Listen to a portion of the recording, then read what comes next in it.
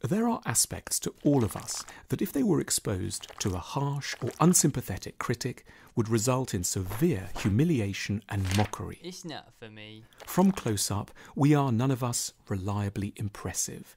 We get agitated, fretful, cantankerous, and panicky. Under the pressure of events, we shout, slam doors, and let out screams or wails. We have episodes of absurd clumsiness. We bump into doors, trip, and drop things down our front. We're worried pretty much all the time about how others see us, about where our careers are going, and about everything important that we've forgotten to do in our lives. We long for love, but are unthinking and insensitive around those close to us. We are gauche in our efforts to seduce and pitiful in our requests for attention. Our bodies have a range of shameful habits and vulnerabilities. We are, from certain angles, truly embarrassing propositions. All this we struggle to hide. The inner idiot is carefully monitored and ruthlessly gagged. We have learned from our earliest years that the only priority around vulnerability is to disguise it completely. We strive remorselessly to look composed, to erase the evidence of our silliness, and to try to appear a great deal more normal than we know we are. We are understandably very focused on the downsides of vulnerability. What is far less well recognized is vulnerability's occasional, very significant, and profound upsides. There are moments when the revelation of weakness, far from being a catastrophe, is the only possible route to connection and respect. At points, we may dare to explain with rare frankness that we are afraid, that we are sometimes bad, and that we have done many silly things.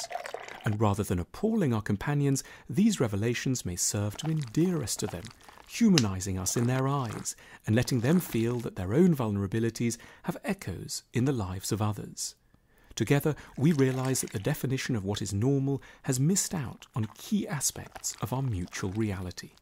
In other words, vulnerability can be a bedrock of friendship. Friendship properly understood not just or primarily as a process of admiration, but as an exchange of sympathy and consolation for the troublesome business of being alive.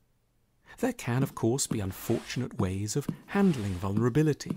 When we do so in the form of an aggressive demand that others rescue us, or when our frailties lack boundaries, or when we're close to rage and hysteria rather than melancholy or grief. Good vulnerability doesn't expect another person to solve all our difficulties. We let them see a tricky part of who we are, simply in the hope that they will be emboldened to feel more at ease with their own less dignified sides. Good vulnerability is fundamentally generous. It takes the first step at disclosure so as to render it safe for others to unburden themselves and disclose something of their hidden selves in turn. It's a gift in the form of a risk taken for somebody else. Furthermore, displays of vulnerability have a curious way of signaling that we are, despite the embarrassing avowals, far from fundamentally ridiculous or pitiful. We are rather strong enough to be weak, to let our silliness, our idiocy, our anger, and our sadness show, confident that these do not have to be the final verdicts on who we are we proceed with a bold sense that despite the lack of surface evidence, everyone is in the end as wounded, aggrieved, worried, and damaged as we are, and that we're not, therefore, through our disclosures, casting ourselves out of the clan for good, we are simply reconfirming our essential membership of the human race. It's something of a minor tragedy that we should spend so much of our lives striving to hide our weakness, when it is in fact only upon the dignified sharing of vulnerability that true friendship and love can arise. We love bringing you these films. If you want to help us to keep bringing you thoughtful content, please consider supporting us by visiting our shop at the link on your screen now.